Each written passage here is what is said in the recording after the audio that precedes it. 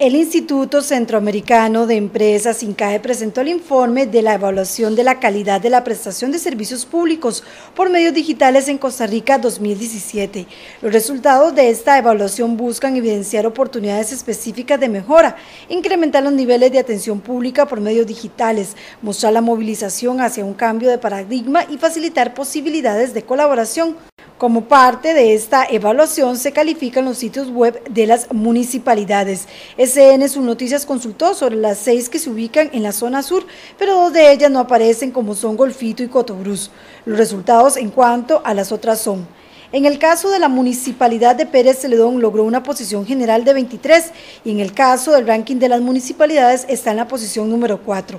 En el cantón de Osa, la posición general del sitio web lo posicionó en A95, mientras que a nivel de ranking municipal en la posición 17.